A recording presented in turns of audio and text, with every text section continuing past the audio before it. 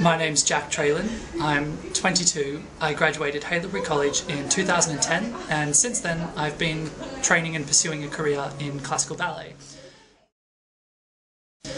I began my full-time training with Leanne Rutherford and Oleg Temerson at Ballet Theatre Australia in 2011. I travel between two to three hours a day to and from the studio.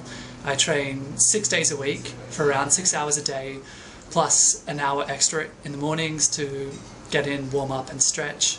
Um, the days are long. We have a classical class every morning followed by things like contemporary dance, pas de deux, where we have to uh, lift and partner the girls, as well as contemporary dance, um, going to the gym to work out, and performance rehearsals.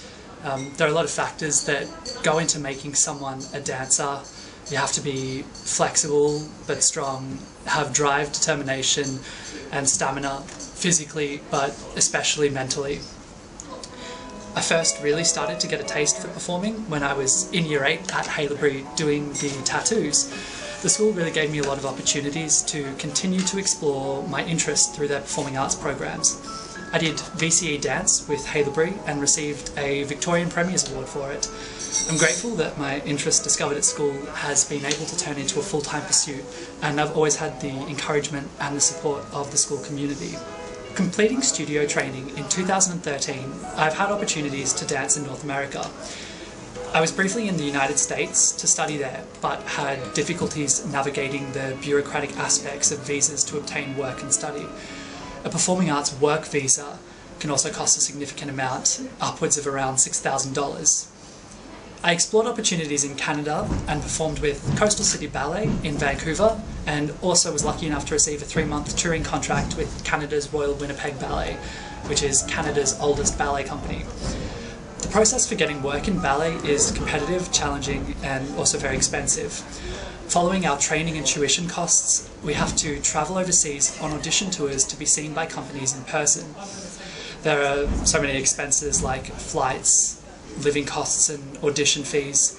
Although I've received some interest from companies in places like Germany, Russia and Croatia to attend their auditions, uh, the upfront costs involved are significant locally there are a number of ballet graduates looking for work in Australia, but with only three companies nationally to support that market, it's not job prospects aren't that great. Uh, the ballet industry is bigger overseas. The USA has over 50 companies itself. Europe also offers a lot more opportunities, with Germany alone having more than 40 companies. Being seen at an audition is the only way to gain employment since I graduated from Haileybury three years ago, I've trained, sought opportunities, and experienced working internationally with respected professionals. Having had that experience, I now know the best way for me to advance my career is to increase the intensity of the footwork in training, as well as travelling and presenting myself to international ballet companies.